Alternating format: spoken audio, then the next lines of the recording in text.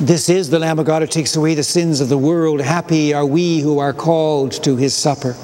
Lord, I am not worthy to receive you, but only say the word, and I shall be healed.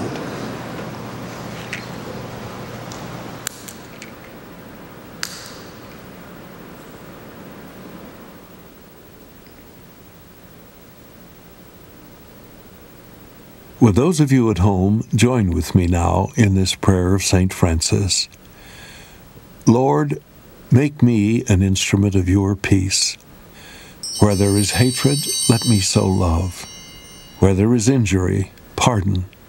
Where there is doubt, faith. Where there is despair, hope. Where there is darkness, light. Where there is sadness, joy.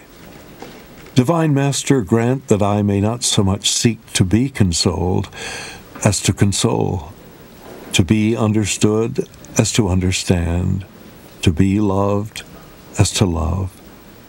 For it is in giving that we receive, it is in pardoning that we are pardoned, and it is in dying that we are born to eternal life. Amen. Let us pray. Lord, may we never fail to praise you for the fullness of life and salvation you give us in this Eucharist. We ask this through Christ our Lord. Amen. The Lord be with you. And also with you. May Almighty God bless us, the Father, the Son, and the Holy Spirit. Amen. Let us go in the peace of Christ. Thanks be to God. Our thanks to Charles Hancock from St. Mary's Church in Barrie, Ontario, whose generous contribution made the televising of today's Mass possible.